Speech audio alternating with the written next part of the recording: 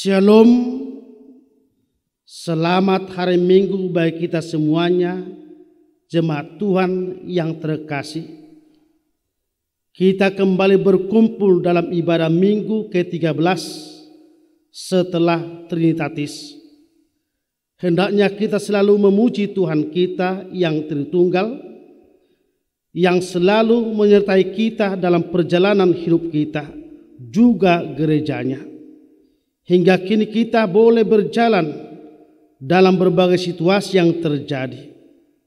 Marilah selalu melakukan segala pekerjaan yang baik, yang berguna, dan menjadi sukacita bagi sesama kita. Terpujilah Allah yang Tritunggal, yang selalu menyertai perjalanan gerejanya, juga yang selalu mempersatukan kita dalam kasihnya. Topik minggu hari ini mengajak kita supaya kita saling menghargai dan mengasihi sesama kita. Sebab manusia tidak untuk diperjualbelikan. Hal itu tidak berkenan di hadapan Tuhan. Bahkan akan semakin membawa kita terjerumus ke dalam dosa.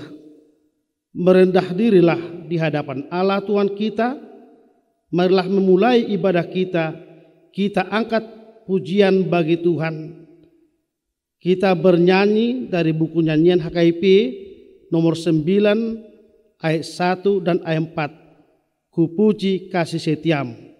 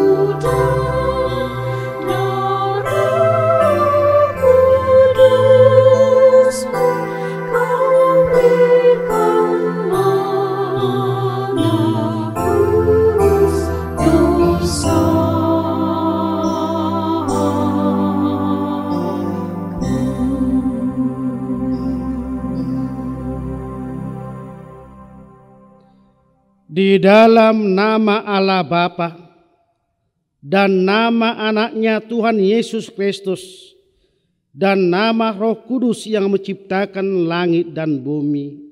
Amin. Allah yang telah mengasihi kita dan yang telah mengutus anaknya sebagai pendamaian bagi dosa-dosa kita. Saudara-saudaraku yang kekasih, jikalau Allah sedemikian mengasihi kita, maka haruslah kita juga saling mengasihi. Haleluya.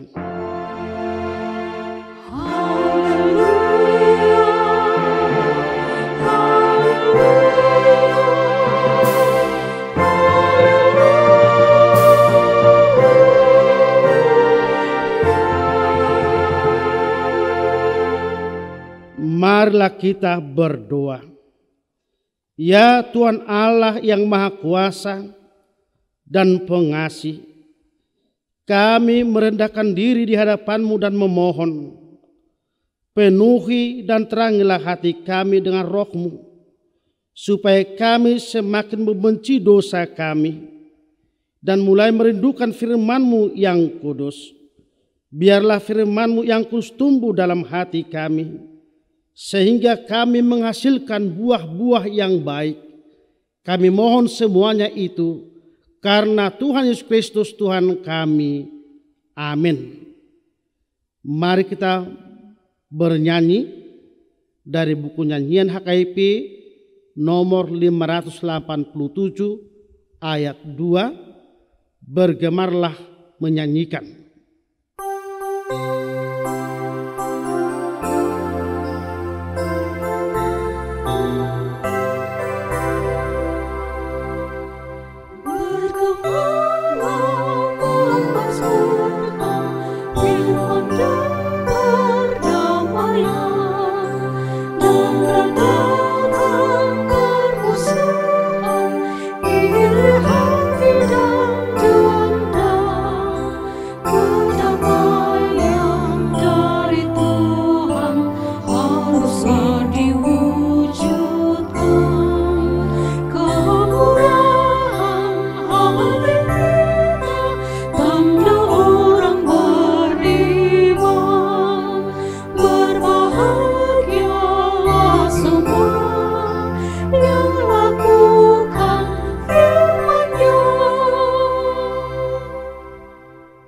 Hukum Tuhan yang ditetapkan untuk kita pada minggu ke-13 setelah Trinitatis ini tertulis dalam Lukas 14 ayat 13. Tetapi apabila engkau mengadakan perjamuan, undanglah orang-orang miskin, orang-orang cacat, orang-orang lumpuh, dan orang-orang buta. Marilah kita bersama-sama berdoa memohon kekuatan dari Tuhan kita. Ya, ya Tuhan Allah, kuatkanlah kami untuk melakukan yang sesuai dengan hukum-Mu. Amin.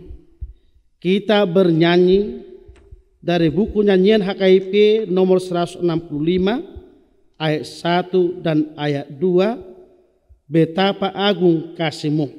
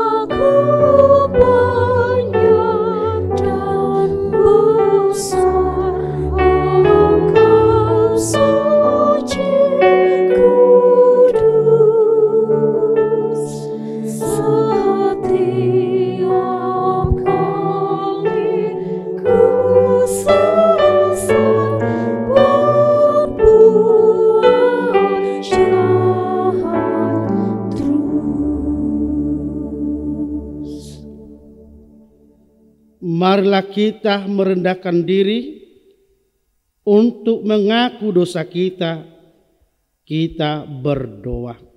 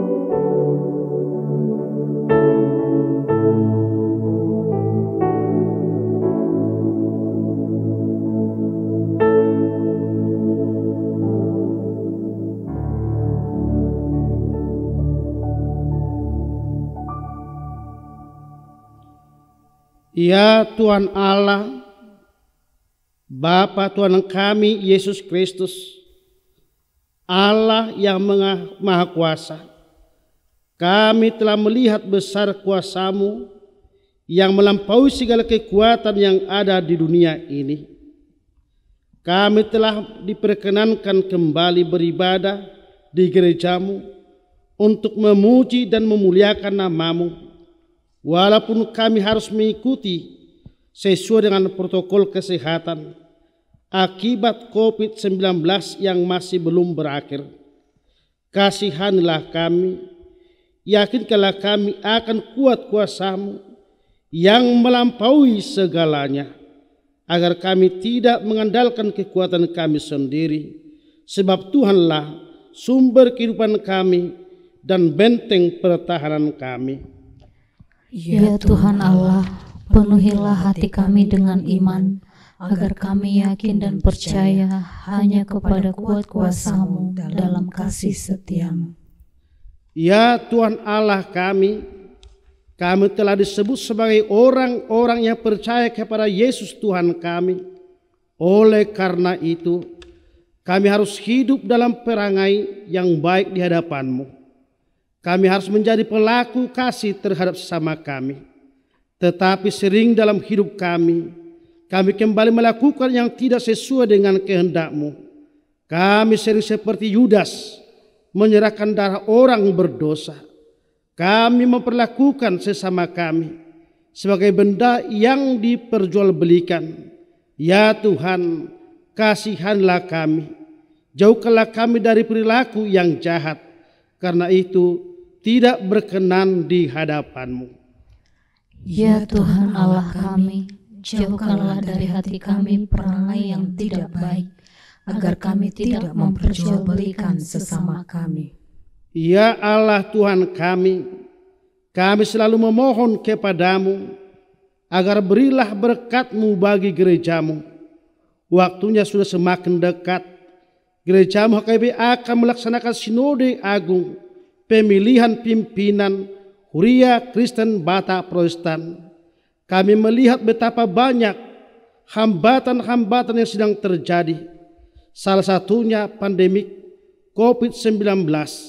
Ya Tuhan, berilah kami kekuatan, berilah hikmat dan kebijaksanaan kepada seluruh panitia yang telah diangkat untuk mempersiapkan sinode agung Huria Kristen Batak Protestan, juga pemerintah kami, kiranya Tuhan memampukan mereka untuk mengatasi berbagai persoalan di negara kami ini, agar mereka juga mendukung rencana gerejamu yang sesuai dengan protokol kesehatan, sehingga kami saling berdamai dan jauh dari rencana kejahatan.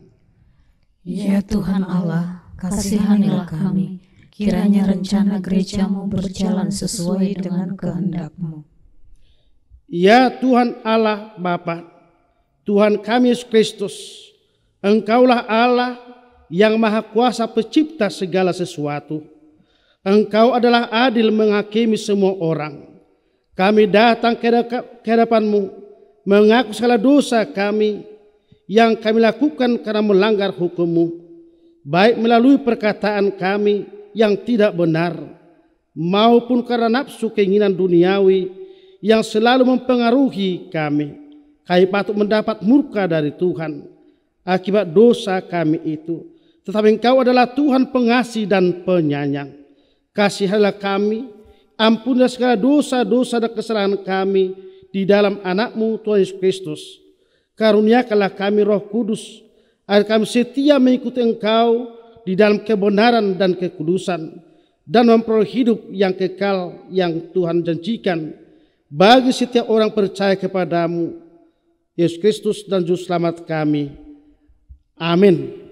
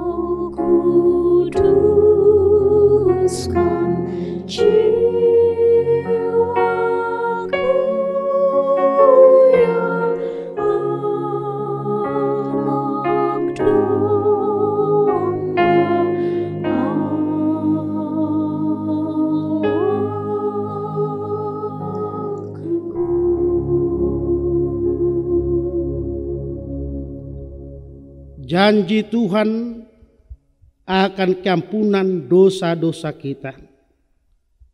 Tuhan adalah penyayang dan pengasih, panjang sabar dan berlimpah kasih setia.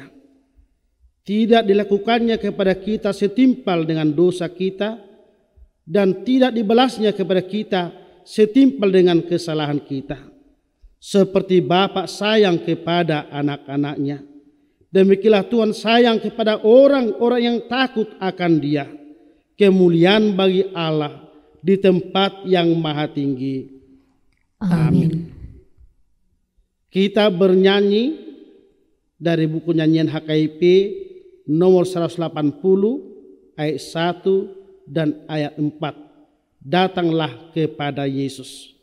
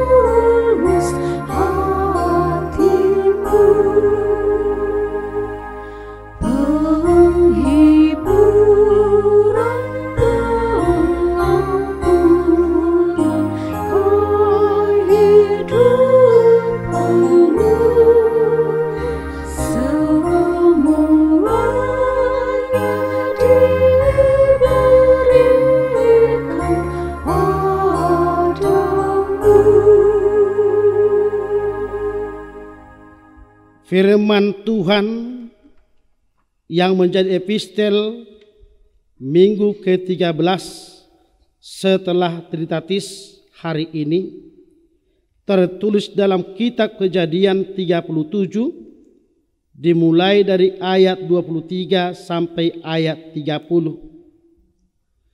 Baru saja Yusuf sampai kepada saudara-saudaranya, mereka pun menanggalkan jubah Yusuf jubah maha indah yang dipakainya itu. Dan, dan mereka membawa dia dan melemparkan dia ke dalam sumur. Sumur itu kosong, tidak berair. Kemudian duduklah mereka untuk makan. Ketika mereka mengangkat muka, kelihatanlah kepada mereka suatu kafilah orang Ismail datang dari Geliat dengan untanya yang membawa damar, balsam, dan damar ladan. Dalam perjalanannya mengangkut barang-barang itu ke Mesir. Lalu kata Yehuda kepada saudara-saudaranya itu, Apakah untungnya kalau kita membunuh adik kita itu dan menyembunyikan darahnya?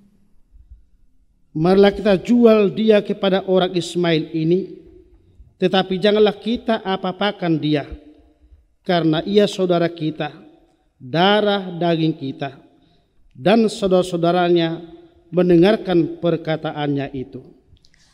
Ketika ada saudagar-saudagar Midian lewat, Yusuf diangkat ke atas dari dalam sumur itu, kemudian dijual kepada orang Ismail itu dengan harga 20 shikal perak.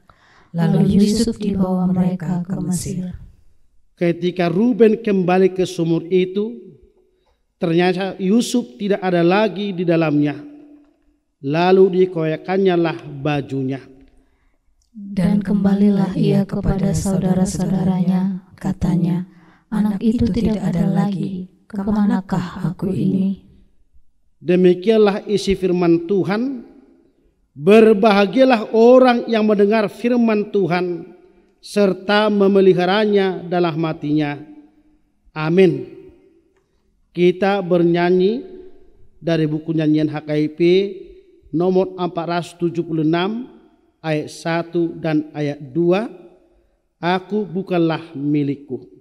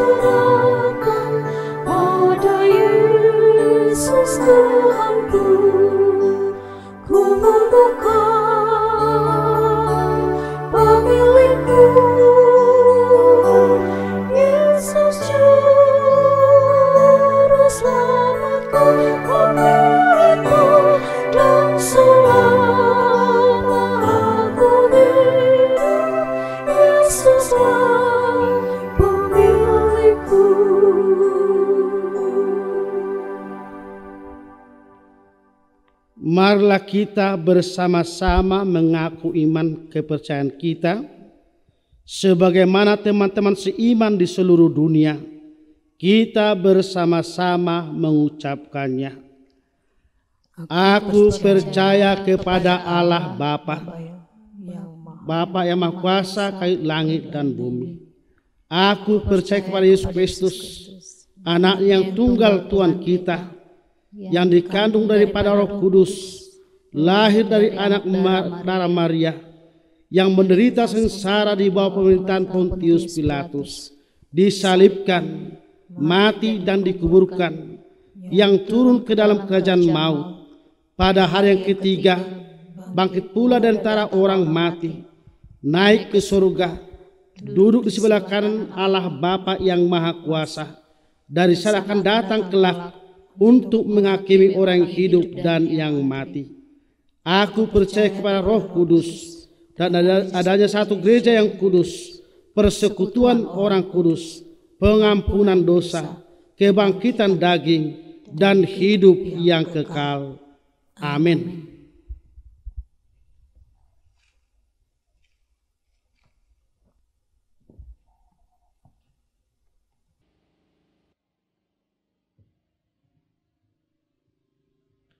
Kita berdoa.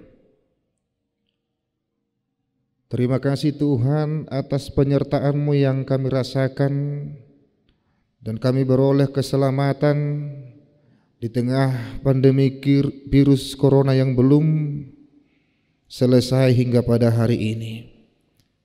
Itu semua oleh karena kemurahan-Mu dan kami sangat bersyukur atas penyertaan-Mu dan oleh karena kasih setiamu, kami boleh berkumpul beribadah, memuji Tuhan, meskipun pada saat ini kami masih belum bisa berkumpul bersama-sama dengan teman seiman di persekutuan gereja sebagaimana semestinya.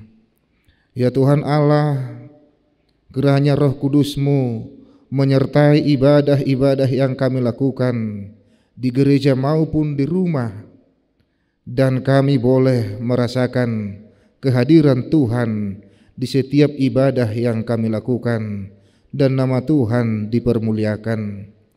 Ya Tuhan Allah kami, dalam ibadah kami kali ini, kami memohon kepadamu, kiranya Tuhan memberikan kekuatan kepada kami, untuk menghadapi kesulitan-kesulitan yang terjadi pada saat ini. Secara khusus, kesulitan yang disebabkan oleh pandemi virus corona ini. Tuhan melihat dengan nyata kesulitan yang terjadi di tengah-tengah kehidupan jemaatmu, baik dalam ekonomi dan juga untuk menjalankan rutinitas kehidupan yang belum bisa berjalan dalam keadaan normal. Oleh karena itu kami meletakkan pengharapan kami setinggi-tingginya kepada Tuhan.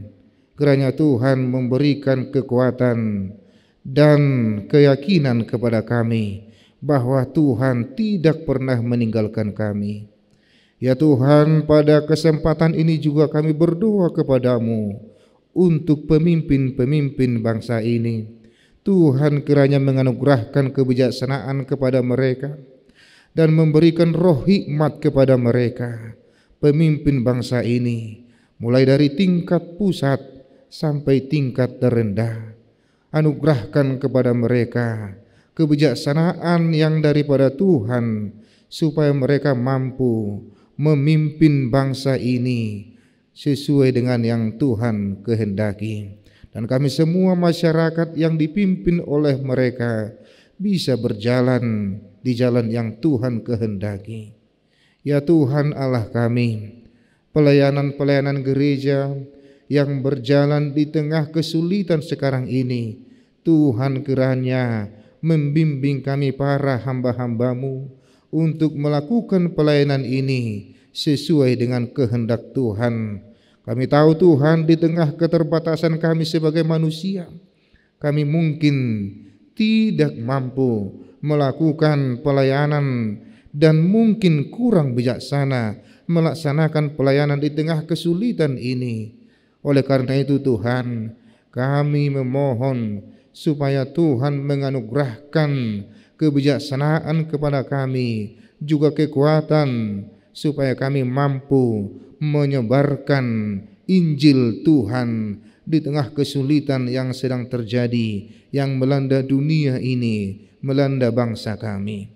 Ya Tuhan Allah, Engkau tahu juga bahwa kesulitan yang disebabkan oleh pandemi COVID-19 ini juga dirasakan oleh kesulitan ekonomi oleh jemaat-jemaatmu dan semua umat manusia di tengah dunia ini. Kiranya Tuhan memberikan pengharapan kepada kami, menguatkan keyakinan kami bahwa kami akan menjalani kesulitan ini dengan selalu berpengharapan kepada Tuhan. Ya Tuhan kami, ampunilah kami juga atas segala dosa dan kesalahan kami. Dan kami memohon supaya setiap kebenaran-kebenaran firman Tuhan yang telah kami dengarkan itu kiranya semakin meneguhkan iman percaya kami kepada Tuhan dan kami mampu dan kami dimampukan oleh Tuhan untuk menjalani kehidupan kami sesuai dengan yang Tuhan ingini. Dengarkanlah permohonan doa kami ini yang kami panjatkan di dalam nama Yesus Kristus. Kami berdoa kepadamu. Amin.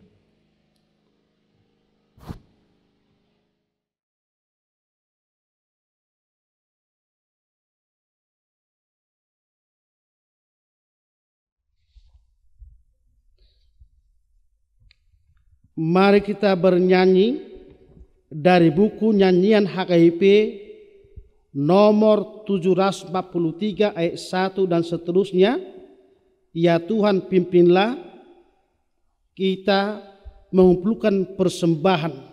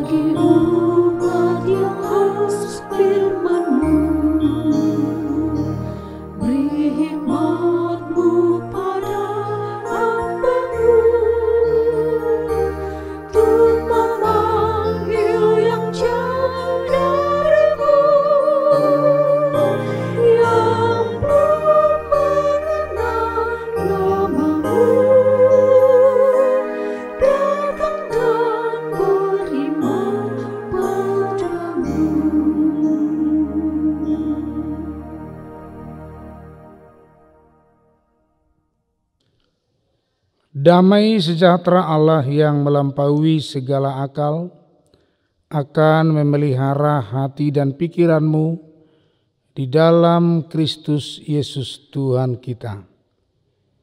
Amin. Bapak, Ibu, saudara-saudara yang dikasihi Tuhan, selamat hari Minggu untuk kita semua. Pada minggu ke-13 setelah Trinitatis, Izinkan saya membacakan firman Tuhan yang diambil dari Injil Matius pasal 27 ayat 1 hingga ayat yang ke-10. Beginilah firman Tuhan. Ketika hari mulai siang, semua imam kepala dan tua-tua bangsa Yahudi berkumpul dan mengambil keputusan untuk membunuh Yesus. Mereka membelenggu dia, lalu membawanya dan menyerahkannya kepada Pilatus, wali negeri itu. Pada waktu Yudas yang menyerahkan dia melihat bahwa Yesus telah dijatuhi hukuman mati, menyesallah ia. Lalu ia mengembalikan uang yang 30 perak itu kepada imam-imam kepala dan tua-tua. Dan berkata, Aku telah berdosa karena menyerahkan darah orang yang tak bersalah. Tetapi jawab mereka, apa urusan kami dengan itu? itu urusanmu sendiri. Maka ia pun melemparkan uang perak itu ke dalam bait suci, lalu pergi dari situ dan menggantung diri. Imam-imam kepala mengambil uang perak itu dan berkata, tidak diperbolehkan memasukkan uang ini ke dalam peti persembahan, sebab ini uang darah. Sesudah berunding mereka membeli dengan uang itu tanah yang disebut tanah tukang periuk untuk dijadikan tempat pekuburan orang asing. Itulah sebabnya tanah itu sampai pada hari ini disebut tanah darah. Dengan demikian genaplah firman yang disampaikan oleh Nabi Yeremia.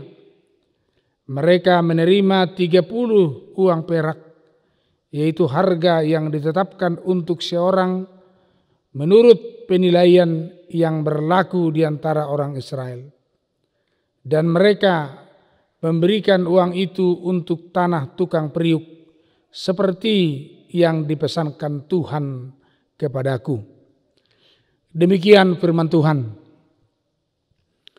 Bapak Ibu Saudara yang dikasihi Tuhan, apakah Yesus tersalib oleh karena pengkhianatan Judas? Ini menjadi pertanyaan penting. Sama sekali tidak. Bukan karena pengkhianatan Judas makanya Tuhan Yesus itu tersalib. Tetapi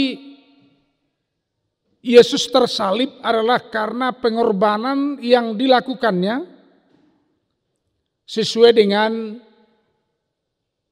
firman Tuhan yang tertulis di dalam Filipi 2 ayat 5 hingga ayat yang ketujuh. Allah yang telah menjadi daging, Allah yang telah mengosongkan diri, mengambil rupa manusia, berkenosis, kerelaan berkorban itulah. Sebenarnya yang menyebabkan kenapa harus Yesus itu disalibkan. Bukan karena pengkhianatan Judas. Dan Yesus mengatakan itu dengan tegas dalam Injil Matius pasal 26 ayat 24. Karena anak manusia sebenarnya dan seharusnya haruslah menjalani hukuman itu. Menjalani kematian itu. Tetapi celakalah orang yang mengkhianatinya. Celakalah orang yang menyerahkannya. Itu yang dikatakan dalam Injil Matius 26 ayat 24. Dan Judas dalam posisi itu melakukan sebuah pengkhianatan kepada sang guru yakni tidak lain adalah gurunya sendiri. Kalau kita cermati misalnya ayat yang keempat sebenarnya setelah Judas melihat peristiwa itu bahwa Yesus tertangkap Bisa kita selami misalnya pikiran Judas begini. Yesus itu kan punya kuasa. Yesus itu kan Tuhan. Ya tidak mungkin Tuhan itu bisa ditangkap oleh kuasa dan kekuasaan manusia yang lemah. Sekalipun saya menyerahkan Yesus ini kepada mereka tidak mungkin. Yesus itu bisa mengalahkan mereka semua. Satu kata bisa mengalahkan mereka semua. Tetapi setelah Yudas menyaksikan bahwa yang terjadi adalah terbalik dari apa yang dia pikirkan. Yesus ternyata tertangkap dan sudah diambil keputusan bahwa Yesus harus disalibkan. Dengan menyadari hal itu sebenarnya dia menyesal. Rasa penyesalan itu ada dalam diri Yudas. Tetapi penyesalan Judas adalah penyesalan yang tidak dilanjutkan dengan pertobatan. Penyesalan Judas itu berakhir pada keputusasaan. Karena dia membunuh dirinya sendiri dengan melihat kenyataan bahwa gurunya itu benar-benar ditangkap dan akan disalibkan. Dan itulah dosa daripada Yudas. Jadi sekilas kalau kita lihat Judas itu menyesali apa yang dia lakukan. Tetapi waktu tidak bisa diputar lagi. Penyesalannya itu benar-benar tidak dilanjutkan dengan sebuah penyerahan dan pertobatan. Tetapi penyesalannya itu justru diakhiri dengan keputusasaan. Tidak ada harapan, kita ada harapan. Lalu dia membunuh dirinya. Judas mengembalikan uang itu dan melemparkannya. Tetapi perbuatannya itu tidak bisa diulangi lagi. Sebab Yesus telah ditangkap. Bisa dikatakan bahwa hal itu adalah menggenapi firman Tuhan seperti yang dikatakan di Jeremia 32 ayat 6 hingga ayat yang ke-9 bahwa itu telah dinubuatkan oleh Nabi Jeremia sebelumnya. Tetapi bukan karena nubuatan Jeremia itu sehingga peristiwa penyalipan itu terjadi. Penyalipan itu terjadi adalah karena rencana Tuhan. Dan apa yang dikatakan oleh para nabi sebelumnya tergenapi. Tapi rencana itu adalah rencana dari Tuhan. Kita bisa melihat bahwa di suasana kejahatan pun rencana Tuhan itu bisa berjalan. Nah, ini menjadi sesuatu rahasia yang luar biasa bagi orang-orang Kristen yang memiliki iman yang kuat. Di situasi kejahatan pun rencana Tuhan itu bisa berjalan. Bapak Ibu Saudara yang dikasihi Tuhan, ada beberapa hal yang hendak kita petik dari peristiwa ini. Yang pertama misalnya Judas yang sudah bersama dengan Yesus sang gurunya selama kurang lebih tiga tahun sebagai murid. Tapi kenapa Judas sendiri tega mengkhianati sang guru? Jadi pernah ada orang bertanya, siapa yang gagal di sini? Apakah Yesus yang gagal membina Judas? Padahal dia Tuhan. Tidak mungkin Yesus gagal karena dia adalah Tuhan.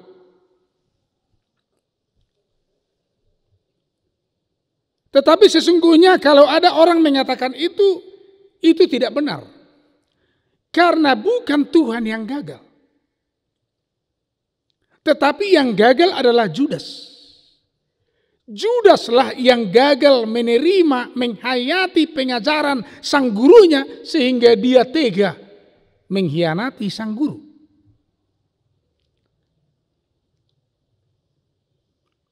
Bapak Ibu Saudara yang dikasihi Tuhan, di dalam hidup ini juga kita sering mengalami hal seperti itu.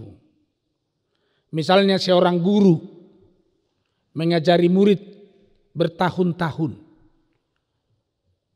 tetapi setelah dia tamat, si murid mengkhianati gurunya, tidak mengikuti apa yang diajarkan oleh gurunya. Siapa yang gagal? Gurunya atau muridnya? Banyak menyalahkan guru. Sebenarnya si murid yang gagal menerima ajaran dan menghayati ajaran gurunya. Misalnya kita sebagai orang tua. Kalau ada anak yang tidak menuruti ajaran orang tua, banyak orang menyalahkan orang tua. Kenapa dia tidak menuruti ajaran orang tuanya? Orang tuanya baik. Orang tuanya peramah, tapi anaknya berbeda. Siapa yang gagal? Apakah orang tuanya atau anaknya?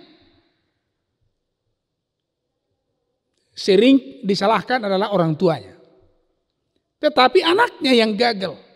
Karena orang tuanya memberikan pengajaran yang baik. Tetapi ada juga misalnya tidak selamanya seperti itu. Ada pengajar-pengajar yang tidak benar. Tetapi yang mau kita lihat adalah peristiwa yang dialami oleh Judas ini bahwa yang gagal menghayati menerima ajaran gurunya adalah Judas. Yang kedua, kita melihat dari firman Tuhan hari ini adalah ada saatnya bahwa penyesalan tidak berguna. Jadi kalau kita sering uh, dengar istilah pikir dahulu pendapatan, sesal kemudian tidak berguna. Jadi tidak ada guna menyesal. Itu yang dialami penyesalan oleh Judas. Padahal sebenarnya harus kita pahami bahwa Tuhan merindukan, menginginkan penyesalan setiap orang. Bagi Tuhan sebenarnya tidak ada penyesalan yang terlambat. Karena setiap orang diinginkan menyesal. Menyesali perbuatannya, menyesali dosanya. Sebab orang yang tidak mengenal dosanya adalah dosa yang paling besar. Dosa yang paling besar adalah menganggap diri tak berdosa. Ketika seseorang tidak mengenali dosanya adalah dosa yang paling besar. Tidak mengenali kesalahannya adalah dosa yang paling besar. Judas sendiri menyesali. Menyesal. Tetapi penyesalan Judas itu tidak diakhiri dengan pertobatan, tidak dilanjutkan dengan pertobatan, tidak dilanjutkan dengan aksi pertobatan. Tetapi penyesalan itu diakhiri dengan bunuh diri dan keputusasaan. Dan inilah yang membuat kesalahan akan penyesalan itu. Jadi tidak semua penyesalan berakibat kepada hal yang baik. Yang berikut Sesuai dengan pesan daripada teks ini kepada kita dan apa yang dikatakan dalam almanak gereja kita HKBP bahwa mengkhianati atau pekerjaan mengkhianati itu adalah pekerjaan yang sangat tidak diinginkan oleh Tuhan. Marjea, celakalah orang-orang yang melakukan pengkhianatan. Dan kita melihat dari firman Tuhan pada minggu ini betapa luar biasanya kekuatan kuasa daripada uang. Kuasa daripada uang korupsi. Uang hasil penjualan manusia penjualan darah dan akhirnya adalah kematian. Jadi tepatlah apa yang dikatakan oleh firman Tuhan di dalam surat Paulus kepada Timotius 1 Timotius 6 ayat 10 karena akar dari segala kejahatan adalah cinta uang. Akar dari segala kejahatan adalah cinta uang. Kalau kita tanya sekarang, apakah uang itu berguna? Apakah ada gunanya uang? Korupsi? Ada gunanya. Tetapi gunanya hanya untuk kematian. Karena itu adalah uang darah. Dan uang yang dilemparkan oleh Judas itu juga dibelikan kepada tanah untuk kuburan orang-orang pendatang. Itu artinya bahwa uang yang seperti itu imam-imam tahu bahwa tidak dicampurkan dengan persembahan dalam ibadah. Tetapi uang korupsi seperti itu, uang pengkhianatan seperti itu, uang penjualan manusia seperti itu adalah uang yang berakhir pada kematian dan berakhir pada kuburan. Saudara-saudara yang dikasihi Tuhan, Firman Tuhan ini juga memberikan kekuatan kepada kita sebagai orang Kristen. Betapa kita diajarkan supaya kita menjadi orang-orang yang setia. dan orang-orang yang tidak menjadi pengkhianat. Karena pengkhianatan itu adalah sebuah kelakuan, sebuah sikap, sebuah perilaku yang sangat menjijikkan di hadapan Tuhan. Dengan kesetiaan, kita diinginkan menjadi orang-orang yang tangguh, yang kuat dalam iman, sehingga dengan kekuatan iman itu kita hidup. Kalaupun orang sepertinya kita lihat hidup dengan kehidupan yang tidak sesuai dengan apa yang diinginkan oleh Tuhan, itu hanyalah bersifat sementara. Karena ujungnya adalah kematian. Jadi kita diajar supaya setiap orang Kristen, setiap orang beriman jangan pernah mencampurkan diri atau setiap orang beriman harus menjauhkan diri dari hal-hal yang seperti itu. Biarlah kiranya firman Tuhan pada minggu ini memberikan kita ke kekuatan, keteguhan, supaya kita menjadi orang-orang yang beriman, teguh, dan setia. Amin. Mari kita berdoa. Terima kasih Tuhan kami ucapkan kepadamu pada Minggu ini kami telah mendengarkan firman Tuhan agar kami sungguh-sungguh menjadi orang yang setia kepada Tuhan, juga memperbaiki hubungan relasi kami kepada sesama kami, sehingga jauhlah dari hidup kami pengkhianatan. Ajarilah kami Tuhan untuk menyesali segala perbuatan kami yang jahat dan ajarilah jugalah kami Tuhan agar kami tidak hanya menyesali tetapi datang ke hadapanmu untuk meminta pengampunan dosa agar kami jauh dari keputusasaan kami yakin oleh karena anugerah Tuhan seluruh orang Kristen yang mendengarkan khotbah ini Tuhan kuatkan menjadi orang-orang Kristen yang sesungguhnya menjauhkan diri dari kehidupan yang mana seperti yang kami yang dikatakan oleh firman-Mu kami jauhkan. Tuhan, kami serahkan seluruh hidup kami ke dalam tangan Tuhan. Ampuni segala dosa dan pelanggaran kami. Dalam nama Yesus kami berdoa. Amin. Kita puji Tuhan dengan bernyanyi dari buku nyanyian HKBP nomor 719 ayat 1 hingga ayat yang berikut ku dengar suaramu Yesus dengan mengumpulkan persembahan yang kedua ke kantor pusat HKBP.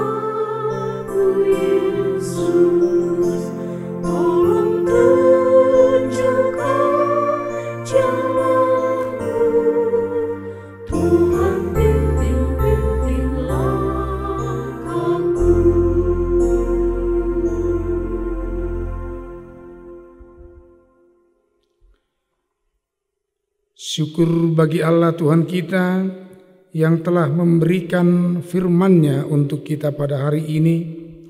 Kiranya kita tidak akan pernah bersikap memperjualbelikan sesama kita umat manusia. Firman Tuhan berkata, Aku telah berdosa karena menyerahkan darah orang yang tak bersalah. Marilah menjauhkan perilaku yang demikian sebab Tuhan tidak menginginkannya dalam hidup kita. Syukur bagimu ya Allah Tuhan kami yang telah menyapa kami melalui firman-Mu yang kudus. Ketika negara dan gereja kita kini masih sedang menghadapi berbagai tantangan dan kesulitan, Tuhan mengharapkan supaya kita turut serta untuk memerdekakan saudara-saudara kita dari praktek-praktek penindasan. Jadilah pelaku kasih dan yang tidak akan pernah memperjualbelikan sesamanya manusia. Ingatlah bahwa kita masing-masing adalah orang-orang yang telah ditebus oleh darah Kristus Yesus. Dengan demikian marilah kita memerdekakan sesama kita dalam situasi adaptasi kebiasaan baru di tengah-tengah negara kita. Jadilah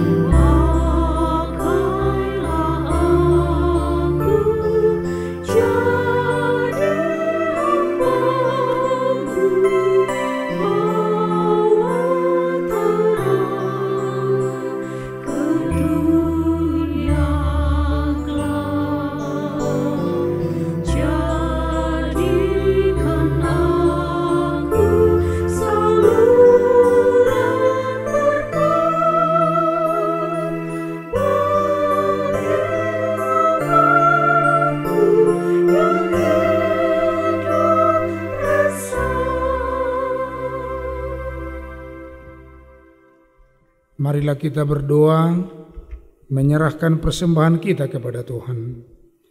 Ya Allah Bapa kami yang di surga, kami mengaku bahwa Tuhan adalah sumber dari segala karunia yang melimpah dalam kehidupan kami masing-masing. Sebagian daripada karunia itu kami serahkan kembali sebagai persembahan kepada Tuhan. Terimalah dan berkatilah persembahan umatmu ini, agar dapat kami pergunakan untuk pekerjaan dan pelayanan kerajaan Tuhan di dunia ini. Bukalah hati kami untuk mengenal betapa banyak berkat dan karunia yang kami peroleh dari Tuhan, supaya kami senantiasa bersyukur kepadamu.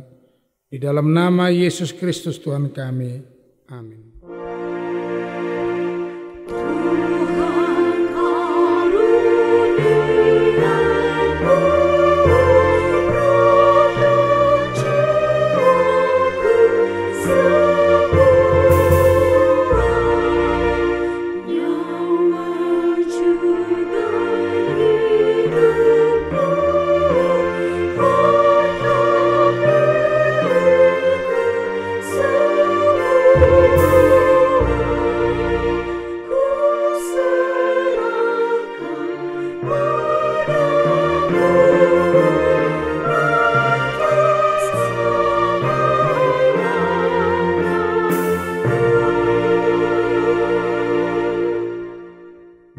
Kami yang di surga, dikuduskanlah namamu, datanglah kerajaanmu, jadilah kehendakmu di bumi seperti di surga. Berikanlah kami pada hari ini makanan kami yang secukupnya, dan ampunilah kami akan kesalahan kami, seperti kami juga telah mengampuni orang yang bersalah kepada kami. Dan janganlah membawa kami ke dalam pencobaan, tetapi lepaskanlah kami daripada yang jahat.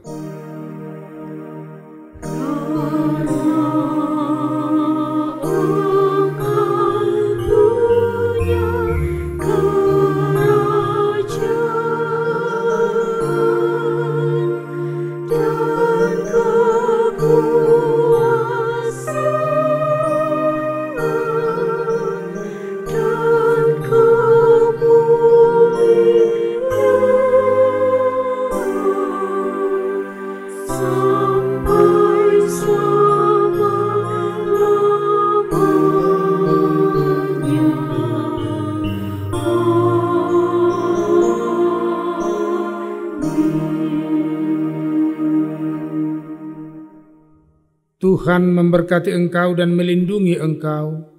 Tuhan meninari engkau dengan wajahnya dan memberi engkau kasih karunia. Tuhan menghadapkan wajahnya kepadamu dan memberi engkau damai sejahtera. Amin.